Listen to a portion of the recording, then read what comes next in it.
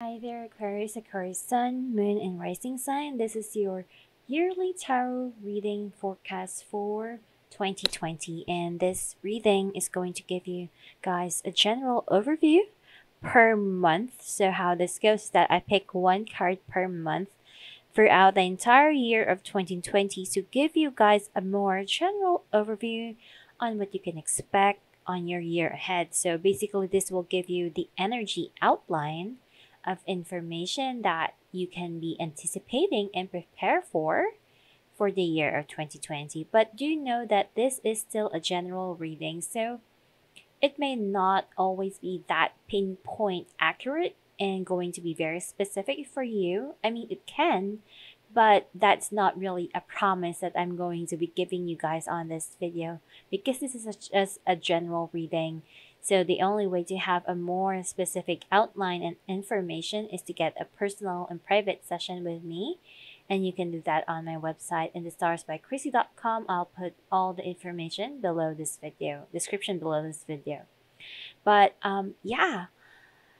Also, I would advise you guys that as you go over to this reading, go back on this um, as we enter 2020 at the middle or even at the end of the year so you guys will know how is this really faring for you and if this reading is even becoming helpful or not. That really helps me a lot as well. So i know if i should continue on to my yearly forecast reading or not. Anyway without any further ado let's get on with the reading and we start off for the month of january which is this queen of cups. So queen of cups this is an intuitive time for you guys. It could be a person. It this could be you, Aquarius. You could be becoming more sensitive, more intuitive, and could be emotional all at the same time. I kind of feel that for 2020, emotions is playing a big role for you. It could be you're thinking about someone, waiting for someone, or desiring someone at this time, but you are not really taking action. That's the thing. Why are you not taking action, Aquarius? Um, that is, you know, the first thing that pop up in my mind because it makes me feel that there is someone that you truly love, but you're you seem to not be taking a move or taking action. I mean, I wouldn't understand if you're a woman, but if you're a man, why are you not taking action, right? But if you are a woman, this could be a scenario wherein you're waiting for someone. Or this could be a situation maybe you got you are going to get pregnant because you do have the page of pentacles. The page of pentacles is in between um, these court cards, which I call uh, the Queen of Cups and the King of Swords. So whenever is this kind of situation happens in the reading, regardless of the spread and layout, I kind of feel that you know that alone says something. Um, there could be like a pregnancy or a child bearing that could be happening, possibly. Um, you know, it can be throughout the entire year of 2020 that is just a possibility that I'm picking up over here.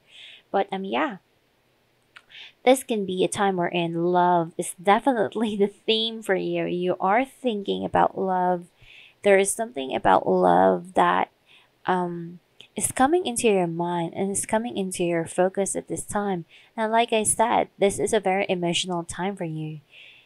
Um, which is always a good thing, I believe, because you are intuitive, you are emotional, and this way you are going to proceed life based on your feelings, based on your emotions, all at the same time. And being an intuitive person myself, I would say that, you know, following your intuition can never be wrong for you.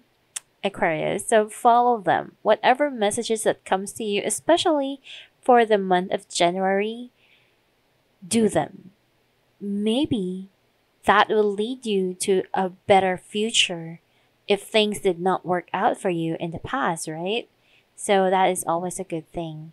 As we enter February, we do have the Page of Pentacles. So, like I said, This could be having a child, or you know, this could be the start of your pregnancy, even, or around January. I mean, I don't know.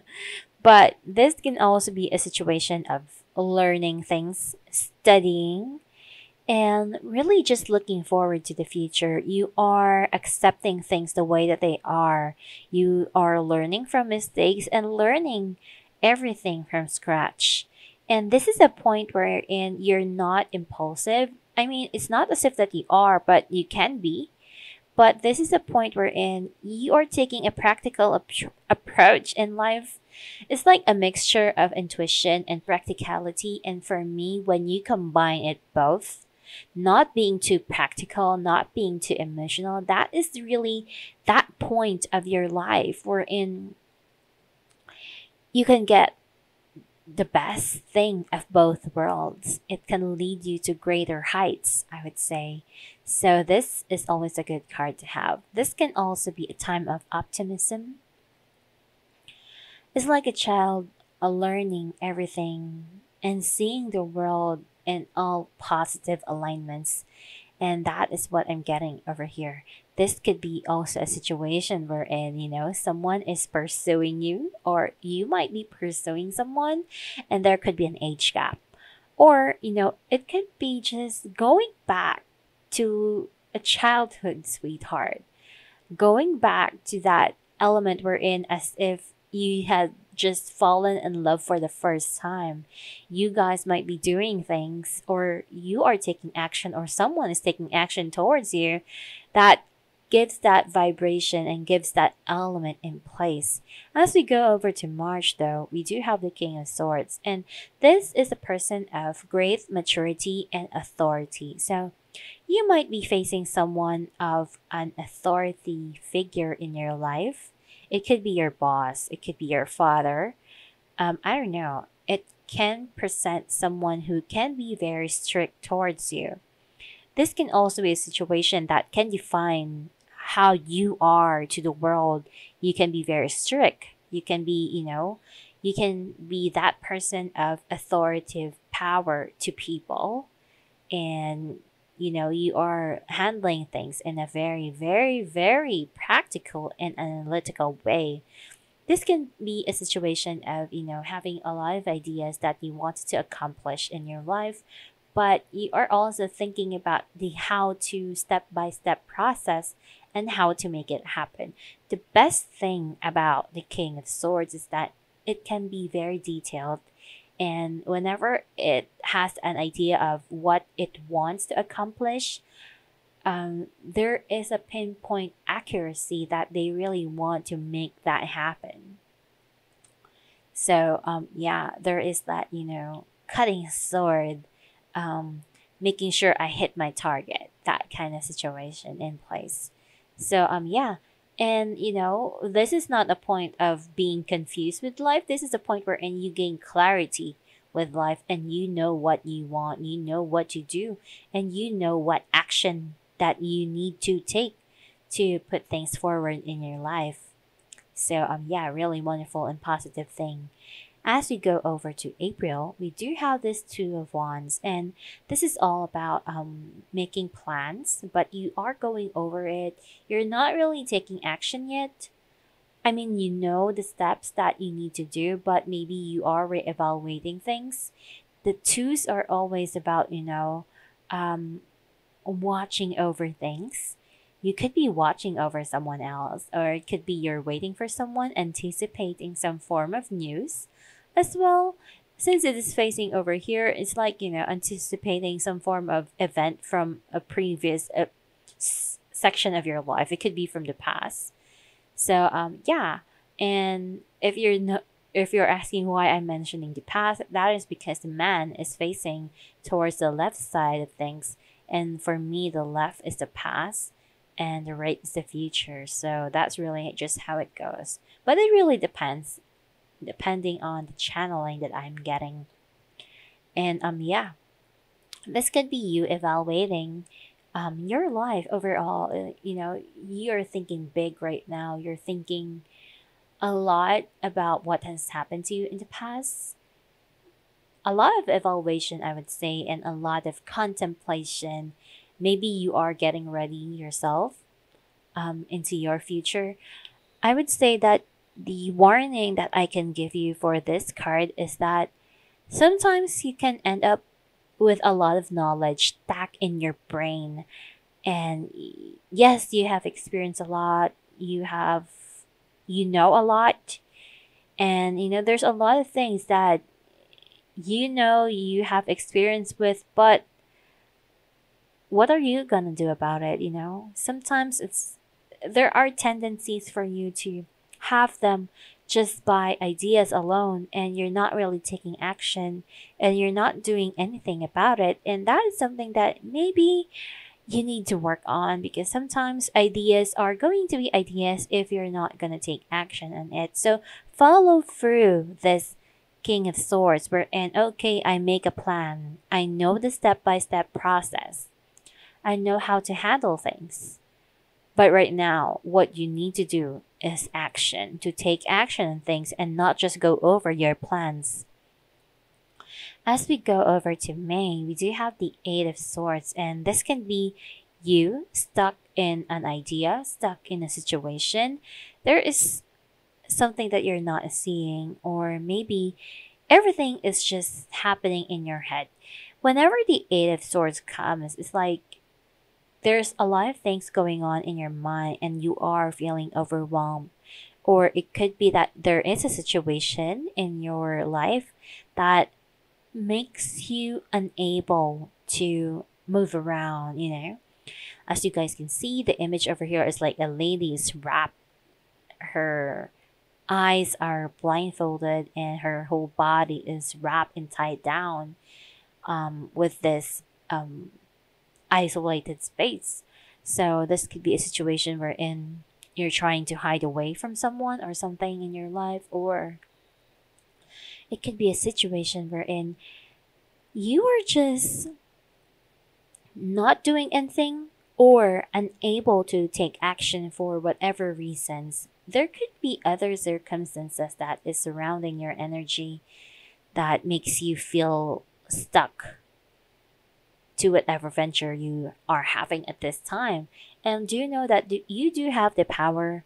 And if you don't have the power to to move around and take action on things, because remember, the Eight of Swords, the knot and the tie up on her body is quite loose. So she can really move around and untie herself if, if she wants to, but it could be that you're just not seeing everything clearly. So you're not seeing some form of idea or answer that is, you know, existing right in front of your face.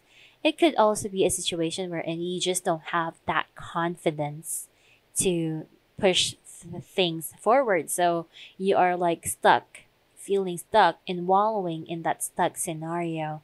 And like I said, you have this habit of um, having a lot of ideas and planning things, but then, you know, you're thinking too much about a lot of things, positives and negatives. And whenever a negative situation comes, um, it makes you, f- it like, it's like giving you a lot of reasons not to take action on things, despite all the planning that you have done.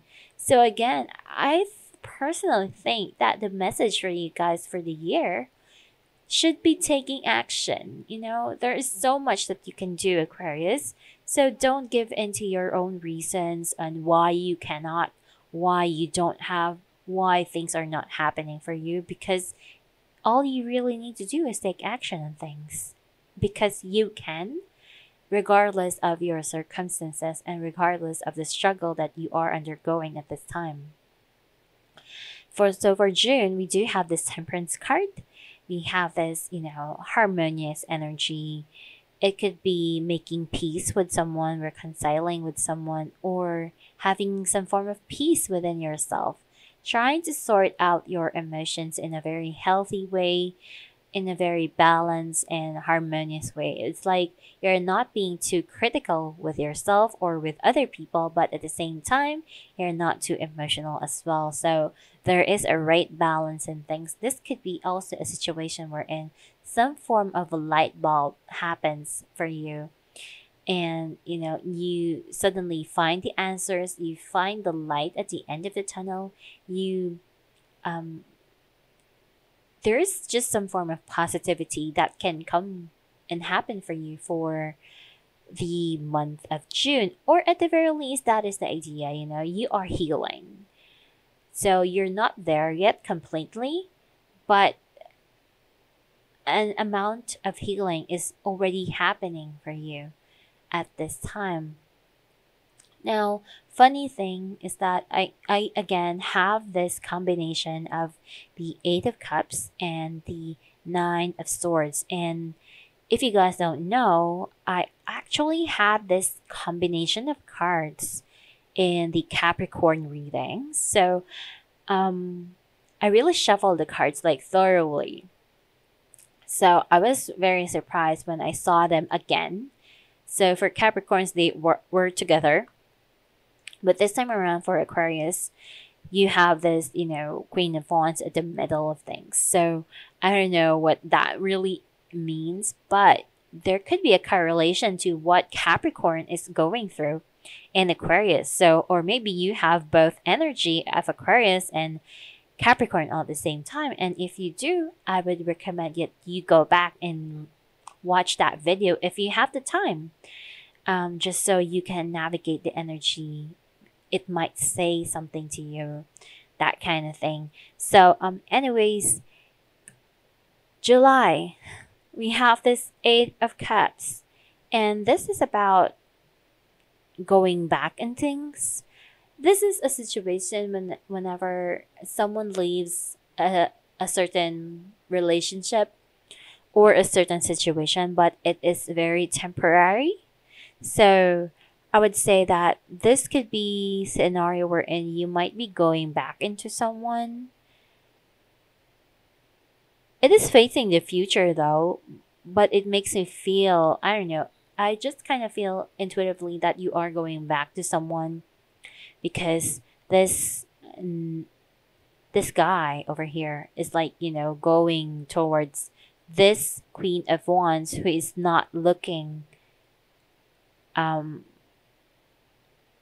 not looking towards the past. She is looking forward to the future. So you might go back to someone as a surprise, I don't know. Or maybe going back to someone after some form of liberation from the past.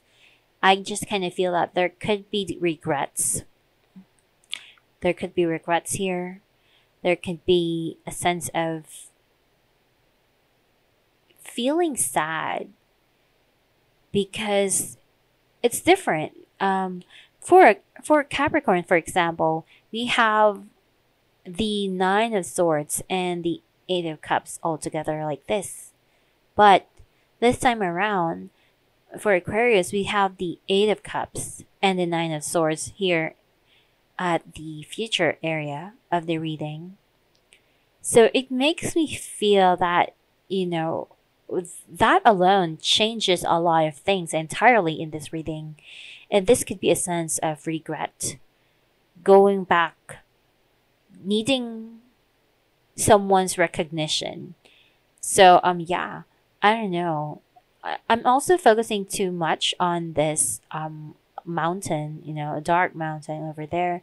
So this could be a situation that you find yourself stumbling an obstacle in your life.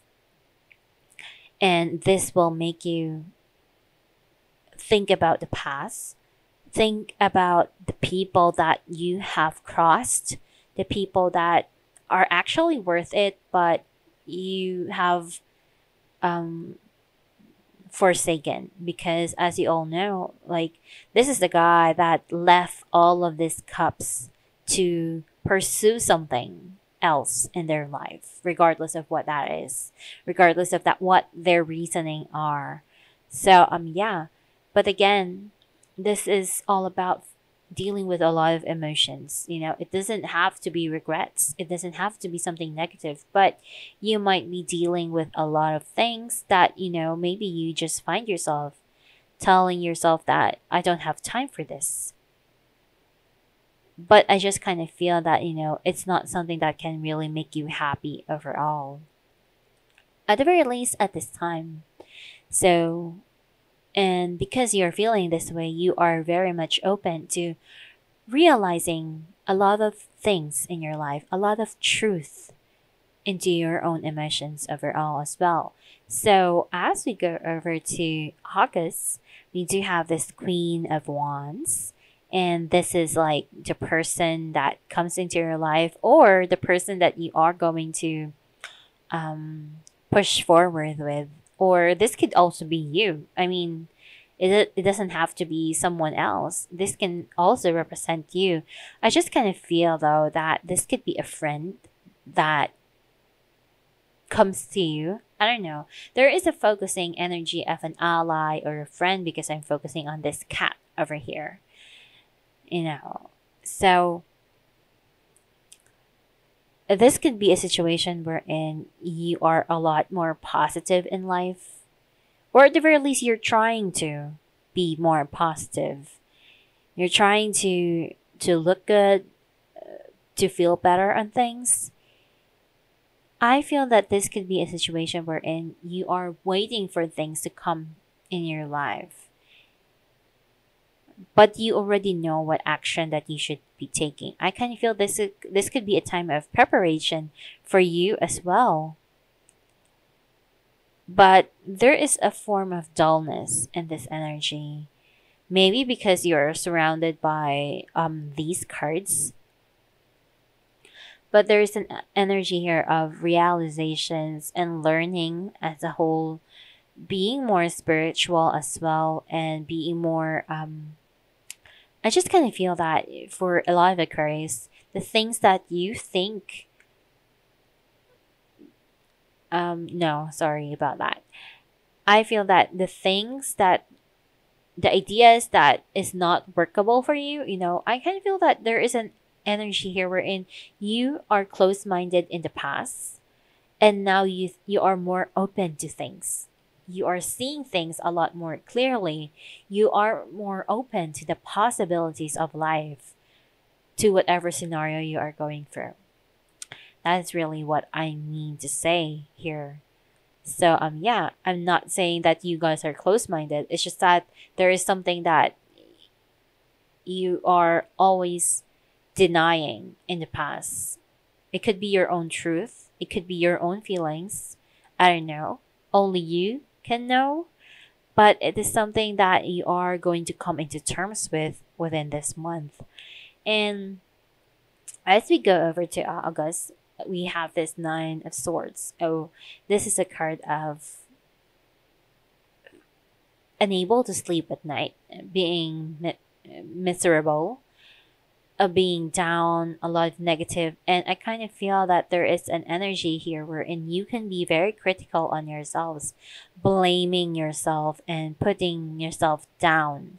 Also, there could be a lot of nightmares and all that. I just kind of feel that this could be you um, putting yourself down. It doesn't have to be other people that is putting yourself down, though, because as you guys can see, this woman over here is taking a look on this Nine of Swords. So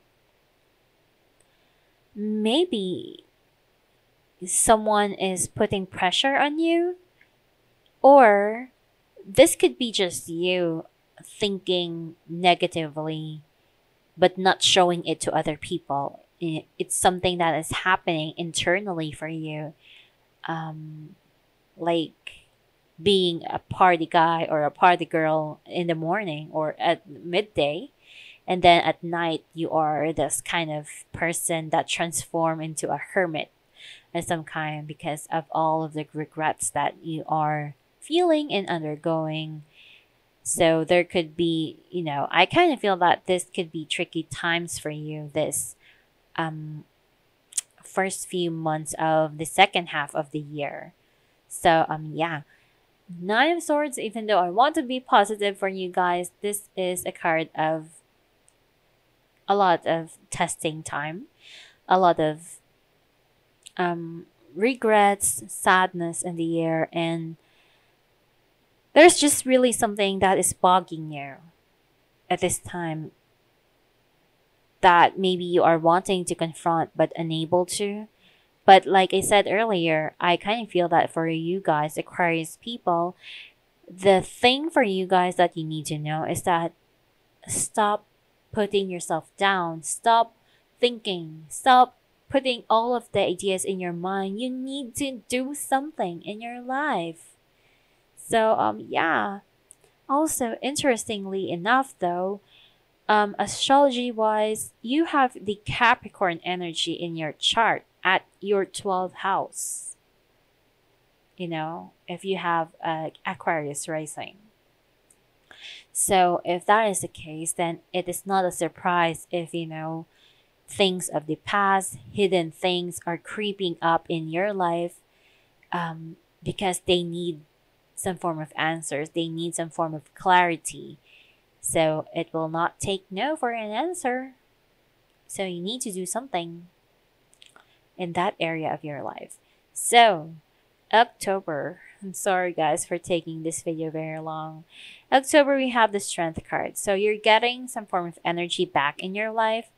You are going to fix mistakes, mend things that are not working for you, mend um things like I kind of feel that this is about you making peace with a person that you have fought with you know, it doesn't have to be for the month of October, but I kind of feel that there is a possibility that this entire reading is going to be the theme for you for the entire year, literally. But I'm getting here.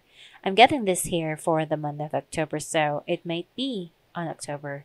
It could be having a lot more courage to take action, to initiate something in your life, and getting your energy and power back in place um, fixing that power, fixing that scenario.